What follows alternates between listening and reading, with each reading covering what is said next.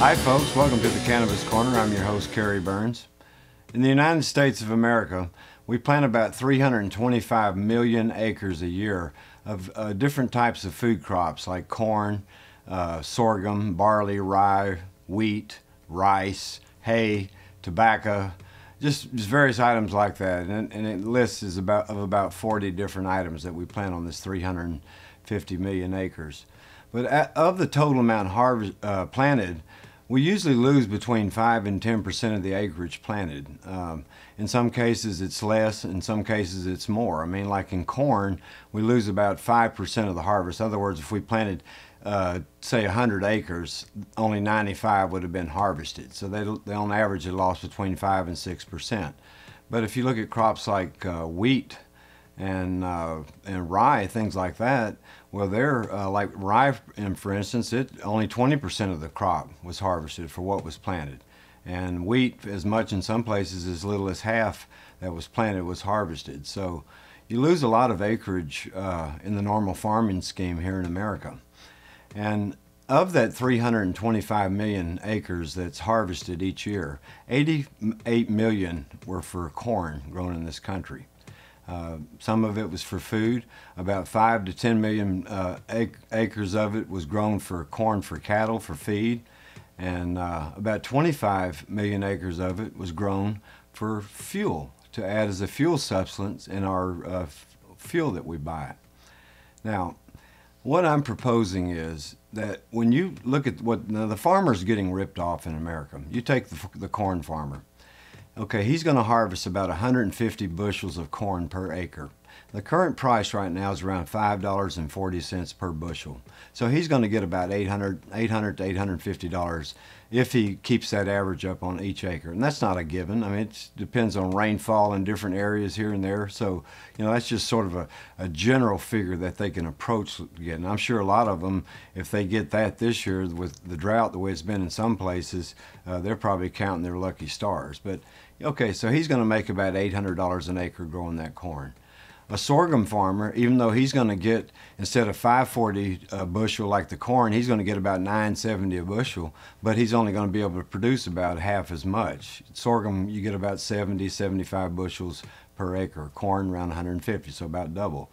So, but the cost per acre, of what he makes, still is around the same same as corn. It's between about 750 and 850 dollars per acre.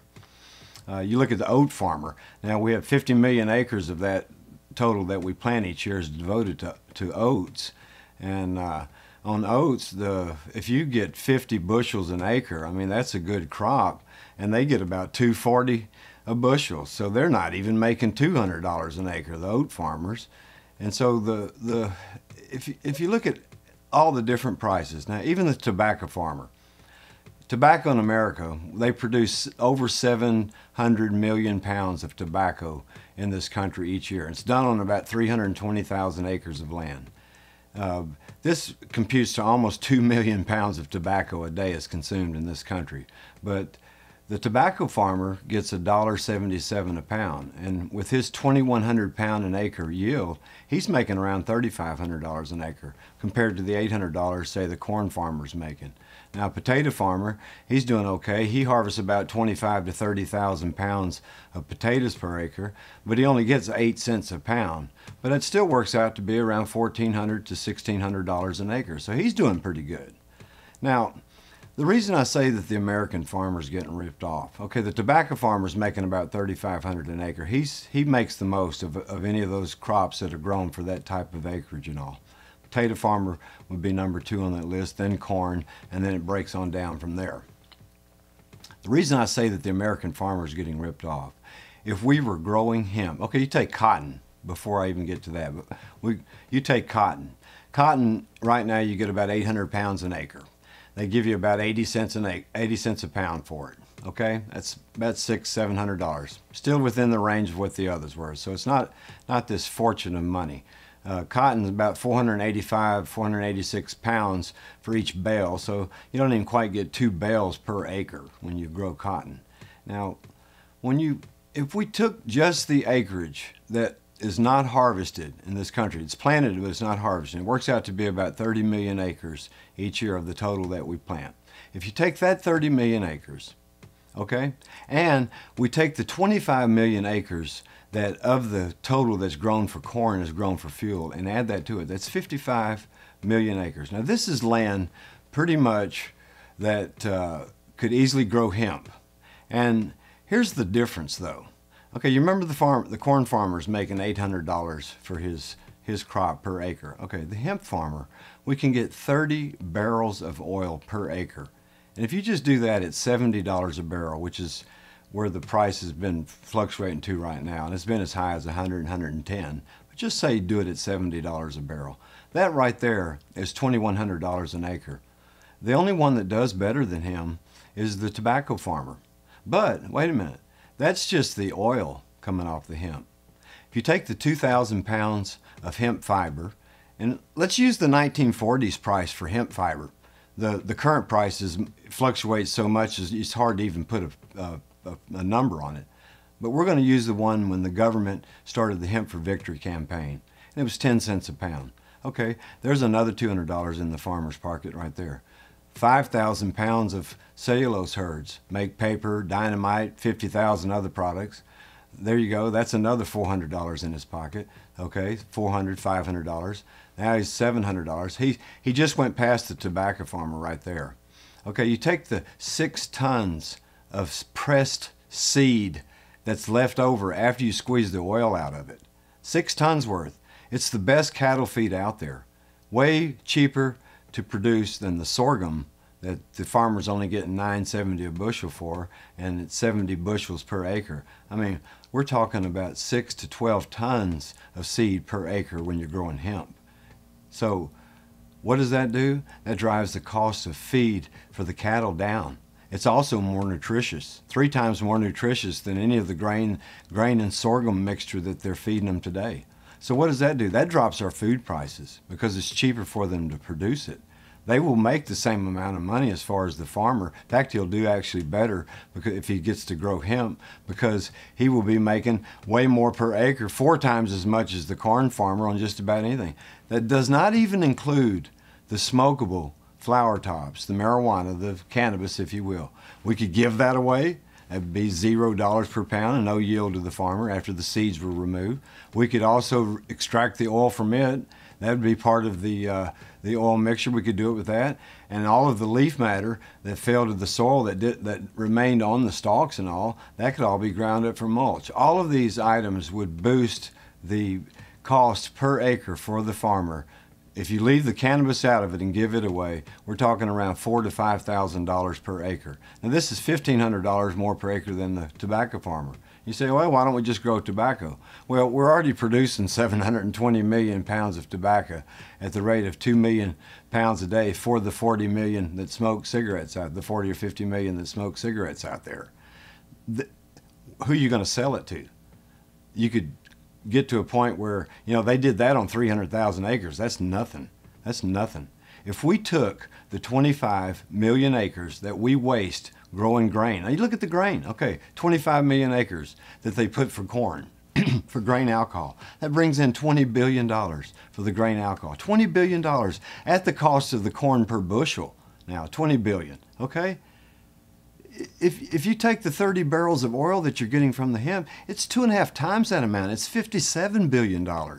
57 billion to 20 billion. I say the farmer's getting ripped off. Why? Because we're worried about our children getting hold of marijuana? Are you serious?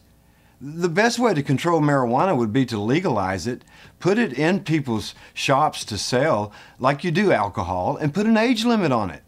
And that way you can control it. When you have something in an illegal market, there are no control. In fact, children are just as good customers to the illegal market as the adults are. It's a joke.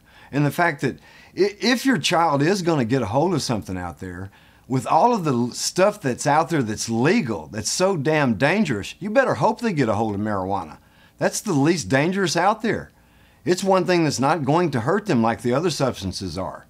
So if your child is prone to experiment and all, you need to talk to them. That's what it's all about. You become a good parent and you teach the child to be a good child. It doesn't matter if your child experiments with cannabis or not. It's not going to hurt them. It's not going to give them an addictive habit. And it may keep them from an addictive habit like cigarettes, or alcohol, or prescription drugs. All of those together kill 700,000 people a year. The cannabis has never killed anyone. So let's quit ripping the farmer off. Let's get the hemp growing in this country. It's we're, we we could grow on a third of land if we just took the wasteland that's not being harvested and produced the hemp and fuel. Gas in this country would be a dollar a gallon, a dollar a gallon, and the farmers would still be making a ton of money, way more than they're doing now with anything that feeds us. I'm not saying that we shouldn't grow the crops for food. Of course, we have to have those. But if we can put more money in the farmer's pocket and all, food prices in general will come down for us and we don't have to affect any part of the market because this market doesn't exist right now. Some stupid idiots back in the 30s made sure that they did away with it. And believe it or not, it was the beginning of the ruin of this country, and it played a valuable role. And the Controlled Substance Act for drugs and marijuana and all that, that's just more hatred on top of, of what they had already started. But we're preventing a trillion and a half dollar industry right now in this country, right now, today. We could put the oil that we make off of growing it here in America back into our economy, not into the Arabs, not into Venezuela's, not into Canada's, not into Mexico's, not into anybody that's out there that we import 65% of our 20 million barrels a day that we consume. Come on, America. We talk about jobs. You talk about putting people back to work. What kind of jobs and stuff would be generated if we put that money in our economy? It doesn't take a rocket scientist to figure that out. I'm not even an economist and I know that much. I'm a scientist, I'm a botanist, I'm a plant person. I have nothing, but I know how to add and I know how to subtract. So let's quit ripping the American farmer off. Let's quit this hokey about our children getting a hold of marijuana. That's ridiculous. And let's quit ruining the lives of productive Americans just because they want to smoke pot, just because they want to use the safest herb known to man. Wow, let's lock them up. Honestly, people,